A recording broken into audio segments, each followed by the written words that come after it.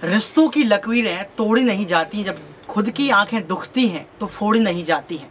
नमस्कार आपके साथ, मैं हूँ ऋतिक सविता, स्वागत है आपका S P N nine news में। दर्शकों, मध्य प्रदेश की राजनीति में लगातार उथल पुथल देखने को मिल रही है। एक तरफ़ देखा जाए तो कांग्रेस पार्टी के बड़े नेता कमलनाथ ज्योतिरादित्य सिंधिया के लिए कांग्रेस के दरवाजे बंद कर चुके हैं तो वहीं देखा जाए तो शिवराज सिंह चौहान कहीं ना कहीं ज्योतिरादित्य सिंधिया की तारीफ़ करते हुए नज़र आ रहे हैं।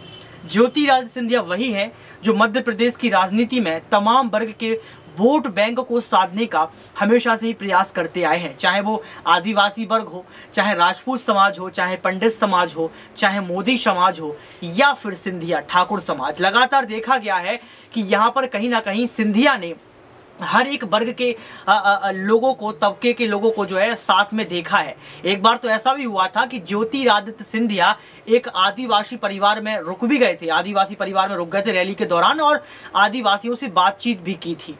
लेकिन इस बार कमलनाथ का साथ कौन देगा? क्योंकि पिछली बार देखा गया कि कमलनाथ के साथ सिंधिया खड़े थे। दोनों लोगों ने मिलकर खूब जमकर प्रचार किया और चुनाव जीत गए। लेकिन कांग्रेस पार्टी ने सबसे बड़ी गलती कर दी कि कमलनाथ को जो है मुख्यमंत्री बना दिया। सिंधिया की नाराज़गी गई सिंधिया ने बाईस विधायकों के साथ बीजेपी में बगावत कर ली और शिवराज सिंह चौहान को फिर से मुख्यमंत्री बना दिया। लेकिन अब फिर से जो है इसी साल में जो है मध्य प्रदेश के विधानसभा चुनाव होने हैं। तो कैसे कमलनाथ आदिवासी वोट बैंकों को जुटा पाएँगे? कैसे कमलनाथ अकेले जो है तमाम वर्ग के लोगों को जोड़ पाएँगे? क्यों? क्योंकि लगातार कमलनाथ ने यह भी कह दिया कि सिंधिया कोई तोप नहीं है। ये कहा जा रहा था कि ज्योतिरादित्य सिंधिया हो सकता है कि कांग्रेस में वापसी करें। क्यों?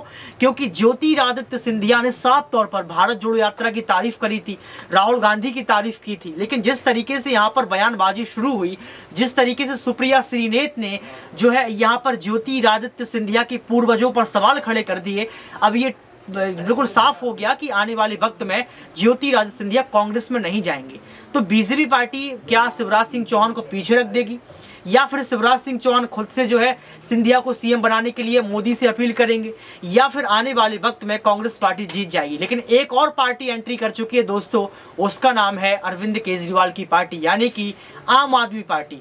आम आदमी पार्टी मध्य प्रदेश में प्रवेश कर चुकी है तो देखना यह होगा कि बीजेपी की सेंधमारी होती है या फिर कांग्रेस की सेंधमारी होती है, और इस बार जो है विधानसभा चुनाव में कौन जीत कर आता है।